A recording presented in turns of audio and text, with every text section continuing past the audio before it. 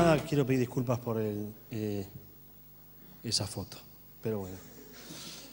Sí, ustedes los que vieron la, otra presentación, eh, lamento decirles que no está tan linda como esta como la otra. No tiene muchos gráficos, pero la verdad es que em, tampoco no me venían muchos temas. De hablar de petróleo, había algunas fotos. De hablar de, mis trabajos y experiencias, este, no se me ocurrían muchas, muchas fotos específicas. Pero bueno, em, como, recién comentaron, dijeron, yo estudié eh, analista ambiental, primero en terciario, y después ciencias ambientales lo articulamos en la Universidad de El Salvador, varios egresados. En ese momento yo fui la primera camada de, analista ambiental y la primera camada de la Universidad de El Salvador, que fuimos los pocos que nos, que nos adjuntamos en el inicio de la carrera de El Salvador para, para hacer la licenciatura. Eh, no es una gran experiencia el, la rata de laboratorio de muchos en la primera camada. Este, mm, en ese momento, en el 93, donde empecé, cuando empecé no había conocimiento prácticamente de mucho de la problemática ambiental. Este, de hecho, yo siempre cuento cuando dije que alguien me preguntó y yo decía que estudiaba analista ambiental, me dijeron, ¿analista mental? Y me miraban como si fuera... Así que tienen que aclarar, pero igual, creo que a ustedes también les pasa lo mismo. Cuando les preguntan eh, qué estudian, de qué trabajan, yo a veces me gustaría decir abogado, ¿no? Y nadie te pregunta más nada, pero cuando hablas de medio ambiente tienes que explicar por qué y qué área y qué cosa. ¿no? Creo que es un tema que los abogados ya lo tienen resuelto. Eh, voy a un poco comentar eh, lo que me, pidió Juan, es hablar de, mi experiencia en las, en las diferentes empresas, no empresas, sino áreas en las que trabajé y las tareas que desarrollé, que creo que para mí, yo cuando cursaba me parecía que me hubiera gustado eh, tener una perspectiva ¿no? de, qué, de qué hacer. En esa época no había mucha gente, la gente no trabajaba de medio ambiente, sino que eran eh, gente de IPF que trabajaba en temas relacionados con medio ambiente, gente de arquitectos que trabajaban en determinado, pero nadie trabajaba de medio ambiente. Eh, entonces, la idea es que ustedes un poco vean y digan, uy, mira qué interesante, esto también se puede hacer. Lo voy a hacer rápido porque ya me pidieron, vos avísame cualquier cosa.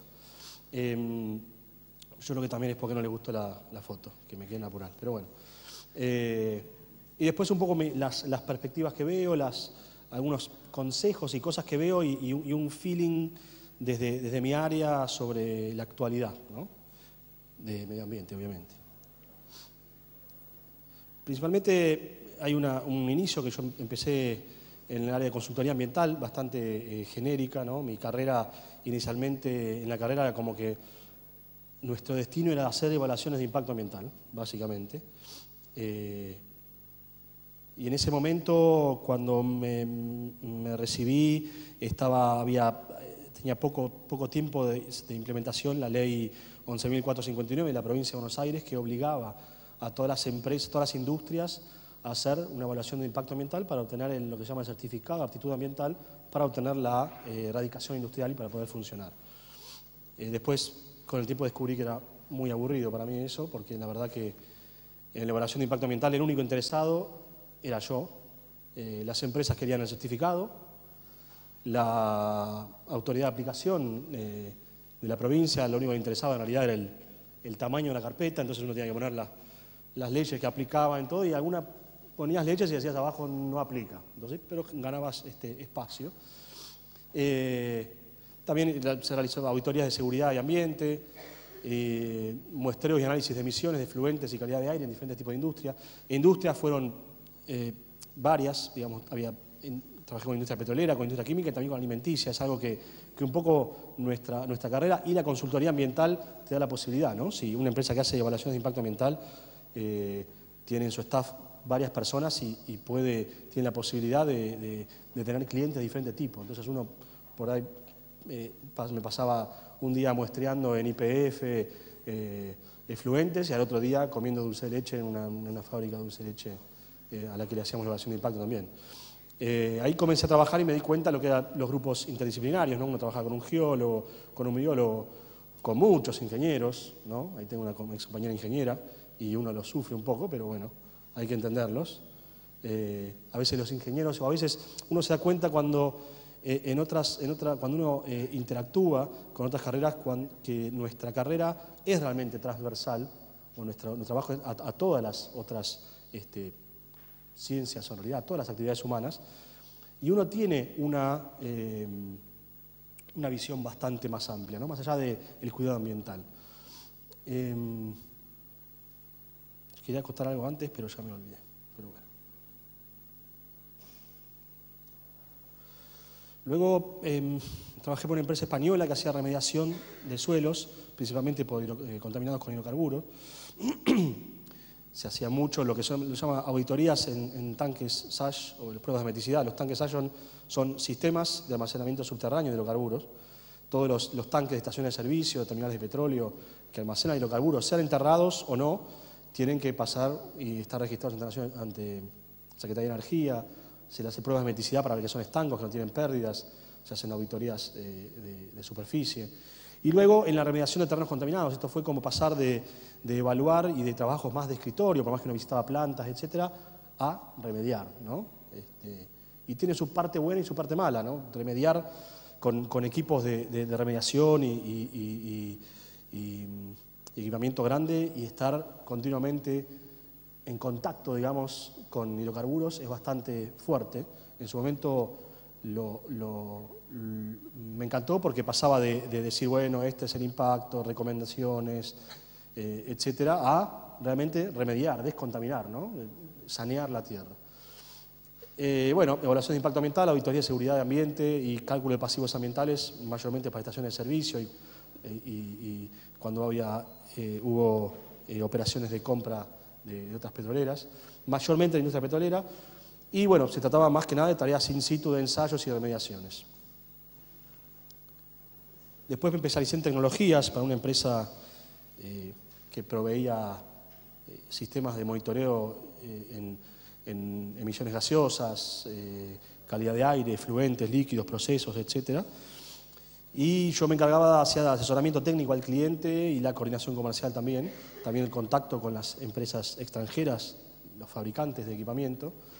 Eso fue algo digamos, a, cada uno le puede gustar o no, a mí me gustaba mucho, me gusta mucho, es como, es como a veces ser un vendedor de, autos para poder vender un Porsche y manejarlo al menos una cuadra, ¿no? Algo que, que solo las grandes empresas lo pueden comprar y uno por lo menos puede estar en contacto, en contacto con eso. Eh, en industrias trabajé con todo tipo de industrias, desde, desde, los, desde consultores independientes o pequeños laboratorios o una, un solo consultor hasta las más grandes empresas, ¿no? IPF, Shell, eh, Petrobras y, petroleras, eh, bastante con, consorcios de, de, empresa, con el CICAX, que es el Comité Interindustrial de Calidad Ambiental de Zárate Campana, con, con, Chubut, con Buenos Aires, la ciudad, con, eh, Río Tercero, digamos, varias municipalidades y, gobiernos que necesitan equipamiento para monitorear y fiscalizar. Luego, de, habido a mi especialidad en, tecnologías de monitoreo y control, me llamaron para trabajar en, proyectos de cambio climático, mm, más específicamente en, MDL, el Mecanismo de Desarrollo Limpio por el Protocolo de Kioto. Yo daba soporte en tecnologías y monitoreo de los proyectos. Los proyectos, digamos, una vez que se eh, em, validan y se, y, se, registran en Naciones Unidas por el Protocolo de Kioto, entran en la etapa de monitoreo, que es monitorear realmente cuáles son las emisiones o cuánto se evitaron emisiones de, emitir estas emisiones perdón, de gases de efecto invernadero y se reclaman los créditos. Se dice también algo de, algo de gestión de proyectos en etapa de monitoreo y se da soporte en auditorías de validación y verificación bajo MDL. Eso también lo bueno es que se trabajaba con muchos tipos de industria, principalmente eh, renovables. Eh, los proyectos MDL en el mundo, cerca de la mitad son de energía renovable, sea eólica, eh, eólica solar, eh, biomasa, biogás, y también otro tipo de industria como la industria de aluminio, la industria cementera, eh, diferentes tipos de industria que aplicaban muchos diferentes proyectos. Uno puede aplicar un proyecto MDL desde lo que es generación de energía renovable o cambio de combustible o rellenos sanitarios o, cambio de tecnologías para emitir menos. Hay como múltiples opciones. Em, lo bueno es que era, era una, una, empresa global. En esto Argentina, como dije antes, estaba bastante, estuvo y está bastante retrasada. La empresa, para darse una idea, tenía cerca de 200 proyectos en el mundo eh, y nosotros en Argentina teníamos uno y la, empresa la, oficina más grande técnica estaba en Argentina. O sea, tuvimos un solo proyecto, en su momento la Luar, después se fue sumando eh, Pan American Energy y, Loma Negra, pero, pero la mayor cantidad de proyectos se hacía vía remota y eh, eh, interactuando con nuestras oficinas de, diferentes partes del mundo. Luego pasé a lo que es cambio climático para auditoría. Digamos, los proyectos de cambio climático son auditados para Naciones Unidas para ser tanto registrados en el, bajo el MDL eh, o, verificados, pero Naciones Unidas no audita en forma directa, sino por medio de empresas auditoras certificadas y muchas son las conocidas, son las mismas que certifican y auditan ISO 9000, ISO 14000, que son SGS, Euroveritas, Tube Nord, Tube Sud eh, y otras. Eh, ahí lo que hice fue asesoré, esta empresa venía en una certificadora eh, americana grande y no tenía experiencia en el mercado de cambio climático, yo asesoré un poco sobre el mercado de carbono. Y yo me encargaba del soporte técnico para la formación de equipos locales de auditoría, digamos, cada vez que se hace una auditoría en un país, se requiere un experto local, un experto técnico en ese, en ese área, sea renovable, eólico solar, o sea eh, de biogás o lo que sea, más un, auditor en sí. y desarrollé la parte comercial de los proyectos de, validación y verificación en, en múltiples países. Eh, muchas de estas, las empresas desarrolladoras de proyectos de cambio climático, como yo trabajé antes, son empresas globales. Eh, son empresas que tienen oficinas en, muchos países del mundo, principalmente eh, en China e India, que son los grandes mercados, Latinoamérica, tienen múltiples oficinas, entonces uno interactúa con varios y cuando uno habla, por ejemplo, de un proyecto eh, en Argentina, la misma empresa te pregunta, la tercera pregunta es, ah, ¿tienen oficinas en China? Porque tenemos proyectos en China. Y bueno, no es que yo viajaba a China y hacía, me hubiera gustado, pero no. Em, bueno, independencia y libertad, esto fue como una... Después, yo en 2011 me independicé, eh, en realidad con, el, con previo eh, en, la, esta, en la empresa anterior ya fue un trabajo en forma independiente, para lo cual yo tenía un contrato con Estados Unidos. Eh, estoy yo especializado en tecnologías y asesoro en lo que es buenas prácticas ambientales, cambio climático y carbono, sustentabilidad y residuos. Y por mi especialidad en tecnologías y mi experiencia, también hago el desarrollo de productos o servicios ambientales de empresas extranjeras que quieren este, trabajar, okay, trabajar eh, en Argentina. Bueno, y ahora actualmente estoy desarrollando proyectos de eficiencia energética y, temas de, residuos sólidos urbanos. Eh, me apuro porque me, me me apure algunas cosas en realidad bastante importantes, que lo bueno es que uno es libre de elegir su área trabajo. El limitante es conseguir trabajo, ¿no? pero uno es libre de, elegir, al, tener tantos ámbitos de aplicación, eh, puede ser investigación, usted tiene más una, orientación eh, más, más, al agro, que yo tenía otra orientación más, más industrial, pero puede trabajar en turismo, puede trabajar en, gobierno, puede trabajar en industria, puede trabajar en, múltiples lugares. Y lo que creo que el, el, rol nuestro es ser el intermediario entre las actividades humanas y el medio ambiente. ¿no? Uno lo que hace es tratar de mantener ese equilibrio y ser una, barrera entre las actividades humanas y el efecto que produce en el medio ambiente. De ahí que mi empresa se llama Interfazo Medio Ambiente, estuve años pensando esto, en serio, este, hasta que me convenció la idea, pero creo que es un poco el rol del profesional de ciencias ambientales. ¿no? Eh, toda actividad humana tiene algún efecto en el medio ambiente y creo que, es, muy útil eh, una persona que pueda interpretar esos, esos problemas y poder brindar soluciones. Y uno creo que debe también eh, saber traducir la problemática, solucionar a sus clientes. Mm, eh, uno interactúa con la industria y interactúa con el medio ambiente y siempre, muchas veces, cuando uno habla con el cliente, en realidad tiene que bajar la información a el lenguaje del cliente. Uno no puede eh, hablar de forma muy técnica con el cliente o tiene que, meterse en, la, tiene que meterse en la problemática del cliente y en la forma de trabajar del cliente. Mis clientes o con la gente que interactúo pasan de ser desde un gerente de una gran planta hasta un instrumentista, un operador de mantenimiento, que uno tiene que poder, eh, o gente que no tiene idea de medio ambiente y uno tiene que poder traducir esta problemática. Consejos. Eh, creo que trabajando se aprende, es lo que más, más, más sirve. Cuanto antes mejor, ¿por qué? Porque, a ver, uno, que, uno aprende lo que, con un, mes de trabajo uno puede aprender casi lo que un, año de facultad. No, no puede ser de facultad, pero en la práctica uno aprende y se apasiona. Y, muchas veces uno evalúa sin, sin haber eh, vivido el, día a día y quizás algo te apasiona y cuando empiezas a trabajar no te gusta o, al revés. Y cuanto antes mejor, ¿por qué? Porque encontré, yo tuve la suerte de empezar a trabajar eh, eh, en los primeros años de la carrera, por nada, digamos. Me sirvió porque tuvieron tres, cuatro meses sin pagarme y después ahorré forzosamente, digamos. Pero muchas veces lo que pasaba a otros es que eh, estaban trabajando otra cosa, recepcionista o cadete, lo que sea, o administrativo, y llega un momento que, uno tiene que hacer el cambio. Y cuando uno empieza a trabajar de medio ambiente, eh, básicamente tiene que empezar siendo un junior. Entonces, si uno como administrativo empieza a ganar más plata, empieza a tener un buen sueldo, después pasarte al otro lado y, bajar, y ganar menos, no es fácil. ¿no? Es resignar y a veces uno no puede. Entonces, cuanto antes se pueda trabajar en lo que sea, eh, o trabajando, digamos, para aprender, digamos, voluntarios o donde sea, yo creo que es mejor. Acá hay una cosa, yo puse, se puede, se puede ser hincha, pero, no se debe, pero se debe jugar. ¿Por qué? Porque actualmente hay, y por suerte hay un avance del, medio, del medio ambiente, la agenda, de la sustentabilidad, que es buenísimo.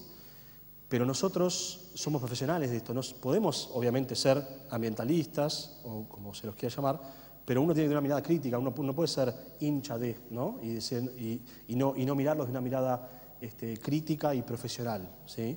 Nosotros en realidad la formación que tenemos es para, para jugar adentro de la cancha. ¿no? A mí obviamente me gusta compararlo con, con un equipo de fútbol, que está la, hinchada y otros que juegan por las ganas de jugar al fútbol y que toda la gente me mire, pero este, la verdad es que uno como profesional de medio ambiente tiene que ponerse en el rol de trabajar por el medio ambiente más allá de obviamente los ideales que uno tiene. ¿no? Uno no puede convencer a, los clientes de que tiene que hacer tal o cual cosa porque es bueno para el medio ambiente, sino que tiene que buscar la, forma de que, eh, sea por tema económico, sea de disminución de riesgo o lo que sea. Y otra cosa es analizar la nueva sustentabilidad con ojos críticos, saber leer entre líneas. Eh, yo veo muchas eh, empresas que están trabajando con sustentabilidad, sustentabilidad corporativa, y lo que hay que saber como profesionales, profesionales es mirar eh, con ojos críticos, leer. Las empresas, muchas empresas, de hecho, para mí sustentabilidad siempre fue lo mismo que medio ambiente, pero ahora lo veo que se, separa un poco. Medio ambiente es trabajar en medio ambiente y sustentabilidad es comunicar sustentabilidad desde empresas muy grandes. Y estas empresas grandes, la mayoría de las veces ustedes ven la gente de sustentabilidad, son gente de comunicación, de marketing. Entonces, si bien pueden tener una, unos ideales fenomenales, y esto se, se va un poco con esto, con la, la, oportunidad en sustentabilidad corporativa, eh, muchos de ellos no tienen soporte técnico, no tienen apoyo técnico, no tienen conocimiento técnico, menos. Entonces, eh, a la vez hay que ser crítico con eso, hay que tener cuidado, pero es una, gran oportunidad para brindar soporte técnico a estas empresas. ¿no?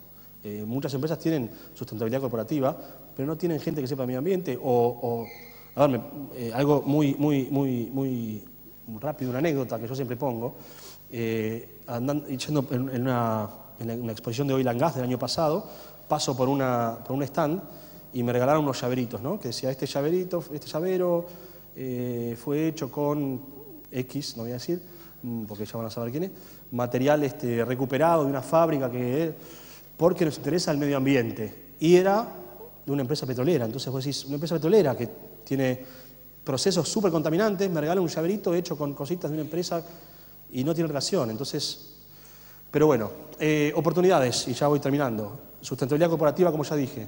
Producción más limpia. Hay muchos programas de producción más limpia eh, del gobierno de la ciudad, de nacionales, y las empresas están empezando a, preocuparse. Preocuparse no porque amen el medio ambiente, sino como todo, porque los pinchan, porque les exigen, porque necesitan, porque es un riesgo a manejar. Eficiencia energética, yo lo tomo desde el lado del cambio climático, pero es lo que estoy trabajando mucho en esto. Eh, la Argentina es un país donde la, energía es barata todavía, pero cada vez va aumentando su costo y la eficiencia energética es una opción muy buena, sobre todo por la Argentina, yo digo siempre, la Argentina es un país y, el tercer mundo y muchos países como nosotros son, tenemos la suerte y la desgracia de que somos ineficientes. Ineficientes no, me- no hablo de las personas, sino de los procesos. ¿sí? Hay muchos procesos que se hacen de una forma y se hacen de forma ineficiente y con simples modificaciones se puede hacer eficiencia y ganar dinero, ahorro, energía y, por supuesto, eh, performance ambiental. Sustentabilidad corporativa, que me acabo de dar cuenta que lo puse dos veces, pero para repetirlo.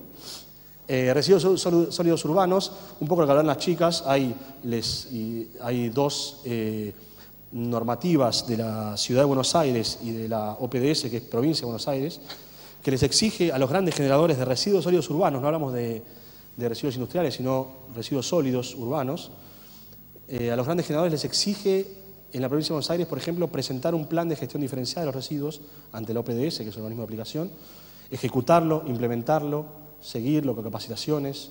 Lo mismo la Ciudad de Buenos Aires les exige a estos grandes generadores la separación.